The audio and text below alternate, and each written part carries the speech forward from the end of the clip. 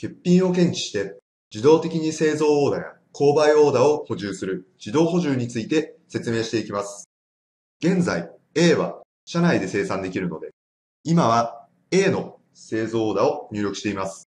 しかし A のオーダーは自動補充機能を用いれば入力する必要がありません。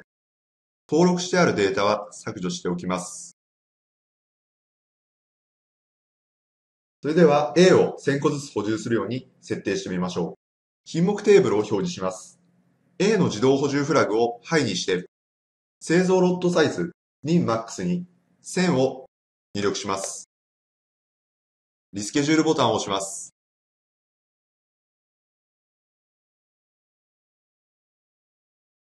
A の製造オーダーが自動補充されました。数量は指定したロットサイズの通り1000となっております。このカット、プレス、インスペクション工程で A が生産され、A がオーダー2とオーダー1に供給されます。これは自動補充された製造オーダーです。